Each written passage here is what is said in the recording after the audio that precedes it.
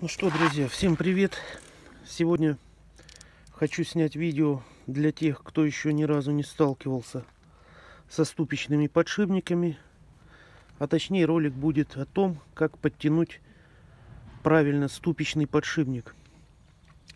В предисловии вчера я полностью заменил ступичные подшипники, отрегулировал затяжку. Все было хорошо, но сегодня, проехав 30 километров, почувствовал, что машина как-то стала чуть туже идти. Значит, вышел, посмотрел и обнаружил, вот если видно, появился люфтик. Ну, во-первых, чем это вызвано? Э, хоть вчера все и было затянуто, установлено, естественно, правильно. Установлены обоймы до упора, новенькие подшипнички, затянута гайка. Зафиксировано. Тем не менее, такие случаи бывают. И как бы в этом ничего нет космического. Иногда это происходит после замены. Так что пугаться тут нечего. И сразу же скажу один совет, что желательно после какого-либо ремонта автомобиля не ехать сразу в длительные поездки. Желательно после ремонта поездить, осмотреться. Это правило, так сказать, опытных уже водителей, которые никогда не ремонтируют машину перед самой поездкой на юга чтобы не получилось у вас через 500 километров что-то вылетело, отвалилось, перегрелось. То есть всегда надо отремонтировали, поездили по городу, там посмотрели, как ведет себя машина, все ли в порядке. Вот это один из тех примеров, как раз, что может произойти, если вы сегодня отремонтировались, а вечером, а утром полетели куда-то далеко, в итоге появился люфт. Это неприятный момент, надо искать автосервисы, если сам не умеешь. А если умеешь сам, то есть трата времени. Итак, не будем терять это же времени, время покажу максимально как просто и быстро подтянуть ступичный подшипник. Итак, приступаем. В данном случае у меня стоят механические хабы, и мне их надо открутить. Скажу, ребята, если у вас установлены такие же, то обязательно хотя бы раз в год, раз в год крутите вот эти самые Э, болты, которые откручиваются вот такой звездочкой. У меня она в данном случае вот такая. Значит, всегда хотя бы раз в год пробуйте их открутить. Иначе в алюминиевом корпусе сталь окисляется. Потом это будет сделать невозможно. И в итоге, скорее всего, 90% вам придется ломать хаб. И, то есть покупать новый и ломать старый. После также откручивания и закручивания его по возможности хороший совет заклеить вот эти отверстия, замазать или солиду, ну то есть маской или пластилином, то есть чтобы туда не попадала вода, не происходил этот самый процесс, процесс окисления. Как бы я считаю, да, в хабах это единственный такой, та вещь, которая, ну, не очень нравится. Многие попадают из-за этой вот окиси. Пару лет не открутил, все, привет. Итак, первым делом мы откручиваем хаб аккуратно. Звездочка очень нежная. То есть у вас и э, сам ключ должен быть новый. По крайней мере, не сорванные грани. И если внутри грани есть грязь, обязательно вычистите все это. Не пробуйте сначала сорвать, потому что, как правило, это приводит сразу к срыву звезды и все это горе. А без снятия хаба у нас ничего вообще не получится. Мы не сможем даже не снять, ни, ничего не сделать. Так что ладно, откручиваю хаб и продолжим. Ну что, первая часть хаба откручена. Теперь нам надо снять вторую часть, чтобы добраться до, само, до самих регулировочных гаек подшипника. Так, что мы делаем дальше? Здесь у нас, ребята, это у всех внедорожников стоит стопорное кольцо. Его снимаем или специальным пинцетом,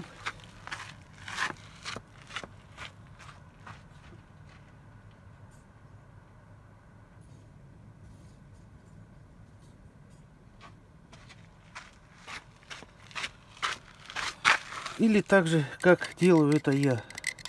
То есть я подцепляю ножом. Значит, и что такое так хорошо снимался. Вот, подцепляем ножичком и потихонечку по кругу его вытаскиваем. Так. Стараемся не загнуть, аккуратно сняли. Все, вот такой у нас стопор. Откладываем его.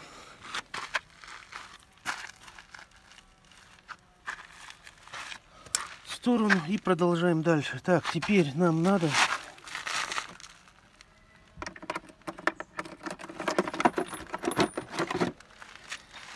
Теперь нам надо снять вторую часть хаба. Значит, я беру вот такую биту. Что у нас тут написано на ней? В данном случае, так, L. Что за маркировка? S212. И откручиваем по кругу все болты. Здесь у нас их 6. Ровно столько же, сколько и колесных гаек.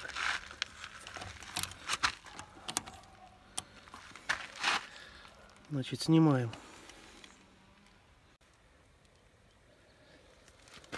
После того, как все болты откручены, аккуратненько его снимаем и откладываем в сторону.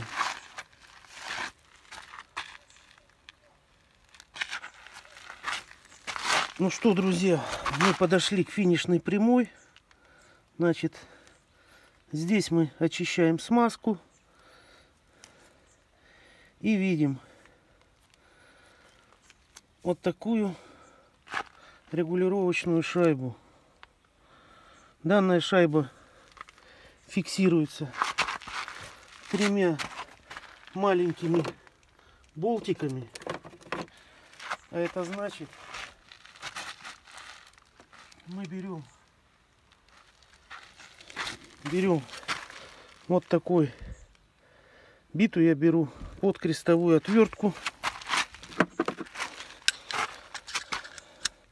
беру удлинитель и начинаю откручивать те самые три болтика. Имейте в виду, что если вы его сорвете грани, вы потом намучаетесь его высверливать. Так что советую сразу очистить, если там есть какая-то грязь, биту подобрать именно по размеру. Слегка пристукнуть и потом только откручивать. Иначе можно нахлебаться горя потом с сорванной резьбой. Так, теперь, теперь, теперь нам надо снять вот это колечко. Снимается оно несложно, если смазки нет, ступицы если есть. Ну, вот как-то так. Снимаем здесь, на нем у нас находится вот такой язычок, которым гайка фиксируется на самой ступице, чтобы не вращаться. Ее мы откладываем в сторону. И вот тот самый момент, когда надо затягивать ступицу. Что мы делаем? У нас колесо задомкрачено. Мы начинаем вращать гайку по часовой стрелке.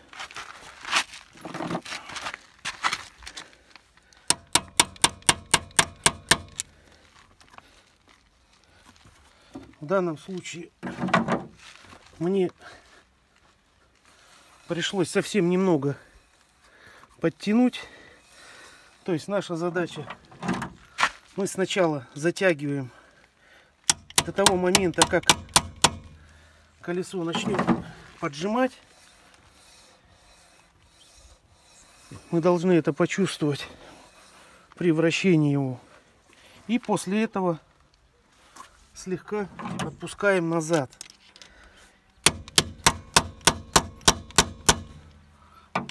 Вот я подтянул, чувствую, что колесо стало слегка туже крутиться. Я беру и в обратную сторону методом постукивания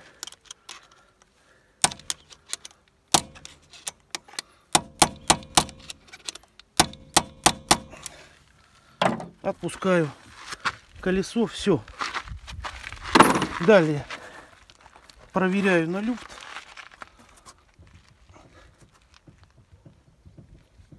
Покачивая вверх-вниз.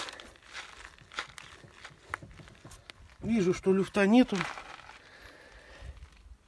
И собираю в обратной последовательности.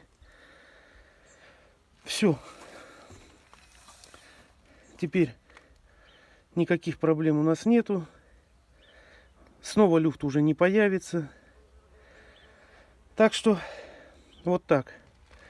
Кому было полезно, ставим лайки. И ждем новое видео. Под... Не забываем подписываться. Всем пока.